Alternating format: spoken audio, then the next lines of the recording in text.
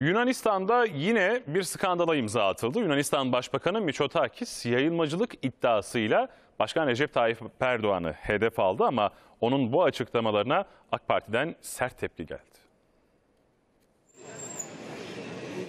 Türkiye ile Yunanistan arasında son dönemde artan gerilim karşılıklı sert açıklamalarla sürüyor. AK Parti sözcüsü Ömer Çelik, Yunanistan Başbakanı Mitsotakis'in yayılmacılık iddiasıyla Başkan Erdoğan'ı hedef almasına sert tepki gösterdi.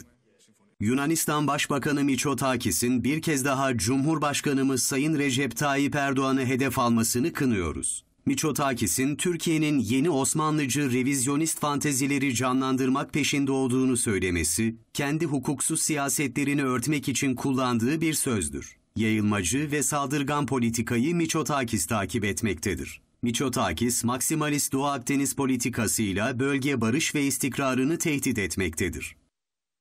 Çelik, Mitsotakis'in sözlerini trajikomik olarak değerlendirdi.